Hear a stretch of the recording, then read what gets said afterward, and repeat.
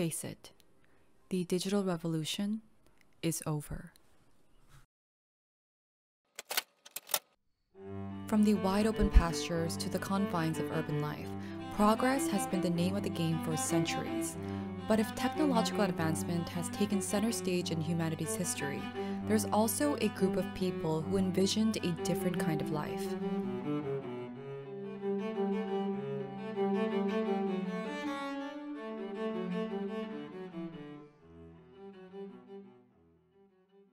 But first, some context. Oliver Twist and his companions suffered the tortures of slow starvation for three months. At last, they got so voracious and wild with hunger that one boy, who was tall for his age and hadn't been used to that sort of thing, or his father had kept a small cookshop, hinted darkly at his companions that unless he had another basin of gruel per diem, he was afraid he might some night happen to eat the boy who slept next to him, who happened to be a weakly youth of tender age. He had a wild, hungry eye. They implicitly believed him. The Industrial Revolution is marked as one of the biggest turning points in human history, only behind humanity's adoption of agriculture in terms of technological advancement and material production. Everything you have right now, from the clothes on your back to the lights in your house, can be seen as a product of the Industrial Revolution. It was also the first time that sustained economic growth on a macro scale started to happen, and productivity was through the roof compared to the local small scale cottage industry of the past. But on the ground, it was a different story. Working conditions were horrendous, and people worked an average 12 to 16 hour shifts six days a week. Wages were awful, with working class people barely scraping by, with many suffering from malnutrition and starvation. Industrial towns were disease ridden, had poor sanitation, and pollution was a major problem in these areas.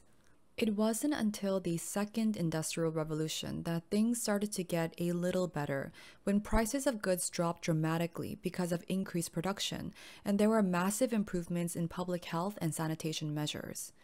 It was a period of immense economic growth as well, but also a time of increased unemployment due to machines taking over many factory jobs that initially arose during the first industrial revolution. And now we land on the timeline that most of us are familiar with. The third industrial revolution, also known as the digital revolution, occurred in the late 20th century and is marked by the shift from analog technology to digital technology. On paper, we all just basically updated our tech, but in reality, it fundamentally changed our world. How we communicate, how we buy and sell things, how information is exchanged, how we find partners, how we make a living, everything changed with this advancement in digital computing. And these major shifts brought about what we now call the information age. But before we move further into the future, I want to introduce a set of characters within this timeline.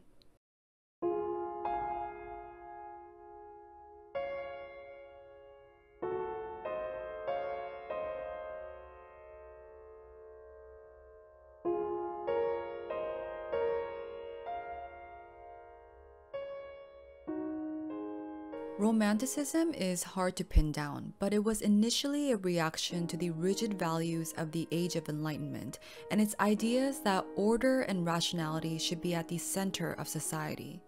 The Romanticists prioritized imagination over structure, emotion over logic, and nature over industry.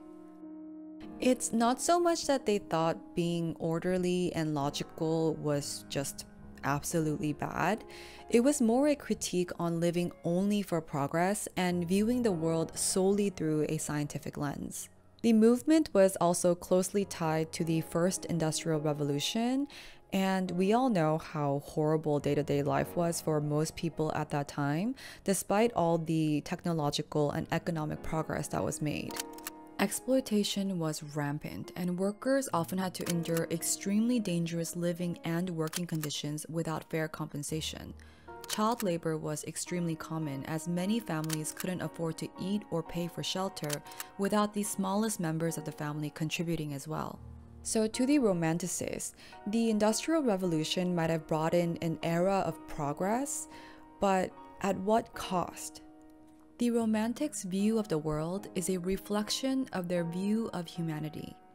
The world is rich, full of qualities, color, sound, flavor, feeling.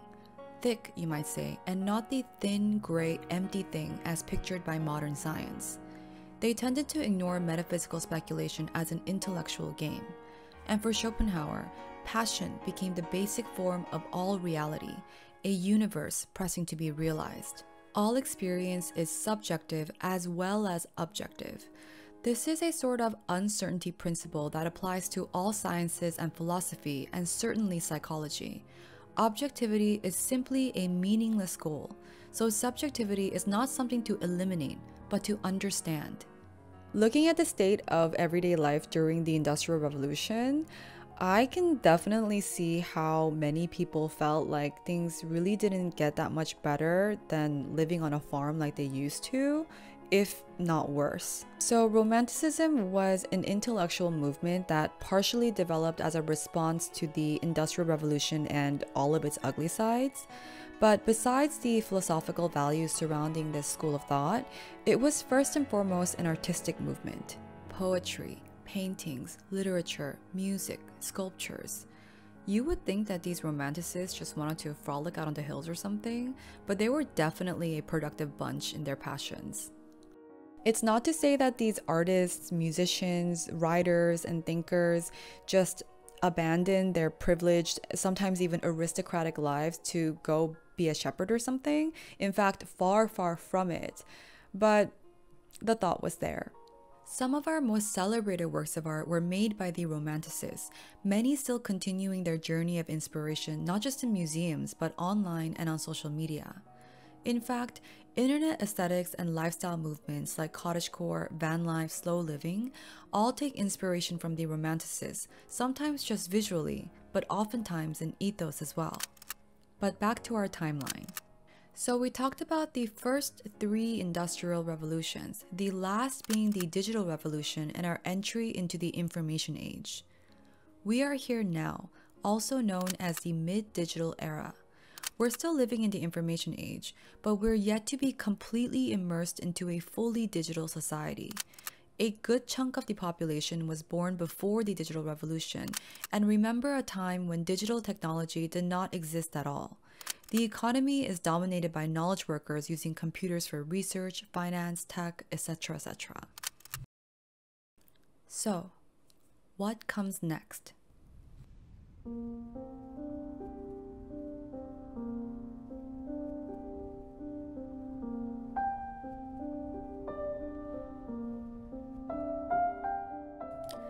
The imagination age is a period of time that's dominated by the imagination economy, also known as creative work.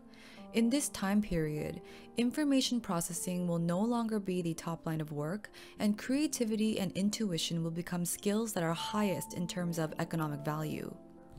It's a hypothetical time period that takes place beyond the information age and within the post digital era. But as much as the imagination age sounds like a relatively hopeful future, and the creative economy has grown over the past few decades, work as we know it right now has become unhinged in many ways, both creative or not.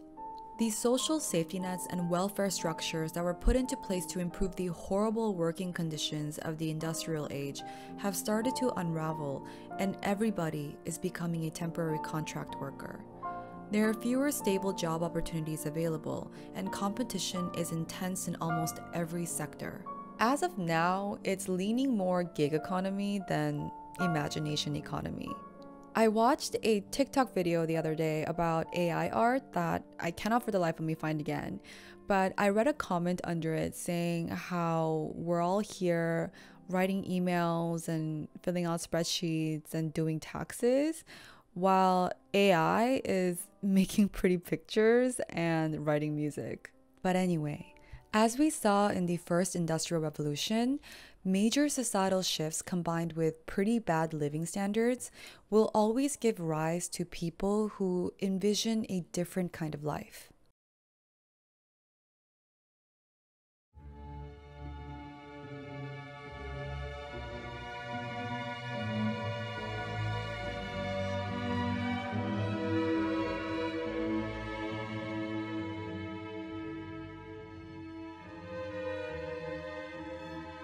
So, as we saw with the original Romanticists, idealizing rural life is really nothing new. And even before Romanticism got its name, this yearning to go back to nature or to just live a quiet country lifestyle has been around even before urban spaces became a thing. But this longing to reconnect with the natural world has come back into fashion once again within the past few years, but this time in a digital format. There may be many reasons to why the cottagecore aesthetic, slow living lifestyles, or the I don't dream of labor movement have become extremely popular in this decade. But we can view this as a sign of people, especially young people, becoming rather exhausted by the troubles of modern life. Just as how Romanticism in its original form was a reaction to the brutal side of the Industrial Revolution, this new, updated version of rural escapism can be seen as a reaction to the cold, calculated, hyper competitive hustle culture mentality that took over the digital revolution. And once again, like the original movement, the new romanticists are far from actual farmers and shepherds and gardeners. In fact, most young people who engage in this aesthetic are doing so online and on social media only. It's a curated, idealized vision board of country life, not a practical, realistic one. But it doesn't have to be.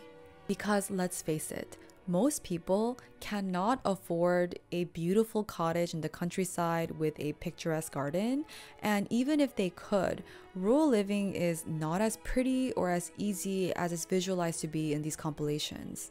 But what we can get from it is not so much a realistic guide on country living, but reflection and inspiration.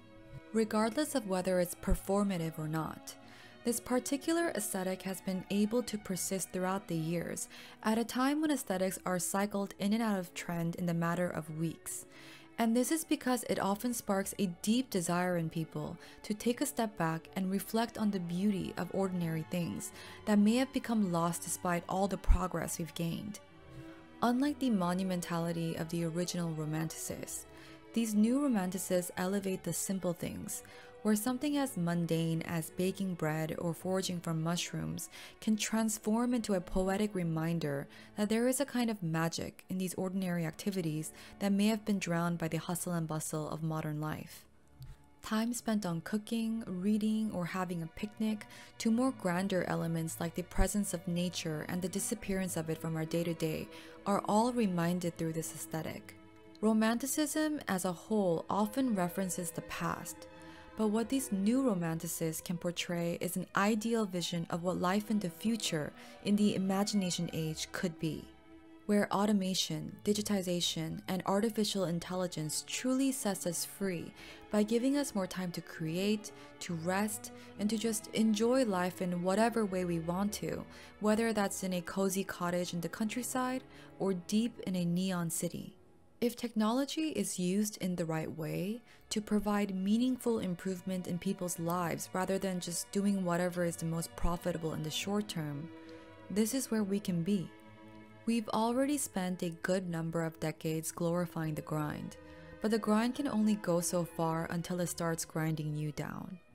We don't know what the next few decades will be defined as in the history books, but we know there is another shift coming soon. So, will the imagination age be a time of creative prosperity? Or will it just be another repetition of all the industrial ages we had so far, where the masses continue to struggle? I am the last person on this earth to go running off into the woods, but I still can't help but imagine a future where our basic needs are taken care of, so I can spend more time creatively frolicking on my couch. Thank you for watching and please like and subscribe for more.